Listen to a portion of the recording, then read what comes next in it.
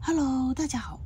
夏天是天鹅兰的生长期，在它的生长期，它的护理上跟在春天、秋天有什么不一样呢？我们知道天鹅兰在冬天是休眠的，这一段时间什么事情都不需要做，就把它放在一边，偶尔给它喷一下水也就可以。到了春天，它就会慢慢的长根发芽，等到新的芽长出有两三寸之后，再给它种植起来。然后呢，它就慢慢的进入到夏天，夏天就是它的生长期。在它的生长期，我们应该怎样做一个护理呢？天鹅兰是喜欢湿润的生长环境，一般我们都说，在它的生长期，它需要大肥大水。什么是大肥大水呢？首先来看一下我这一颗。这一颗天鹅兰，我是用了一个塑料杯，下面是放了陶粒，上面是用了水苔。看一下它的根，都已经跑到下面来了。我们说的大肥大水，就是一定要保持它的植料是湿润的。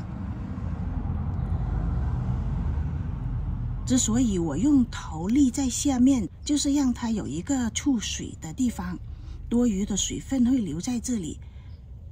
上面这些水苔如果干的话，下面这些水就会慢慢的被吸收上去。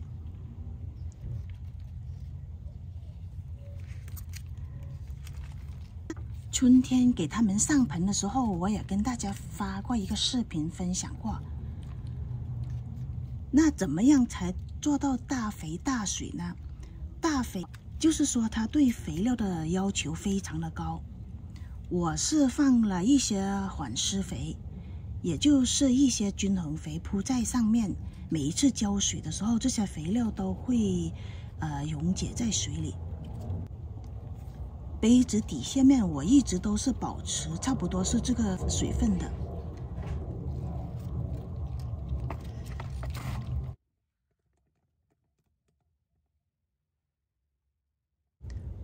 除了放这些缓释肥在表面上，平常浇水的时候，每一次浇水我都会用肥料水来浇水，而且肥料的浓度呢，差不多是呃一勺对一加仑的水，肥料的分量是非常浓的。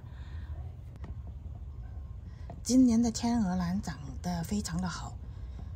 这些应该是比较弱的芦头，我本来是扔掉的，还是尝试一下把它们种植，看能不能发芽。结果所有的这些比较老的枝干都发芽了。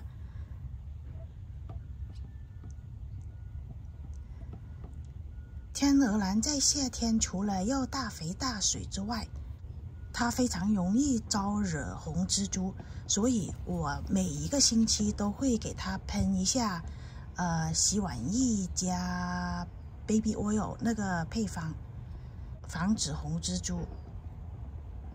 到目前为止，我这几颗天鹅兰长得还是非常的满意，希望不久的将来就能长出花梗开花吧。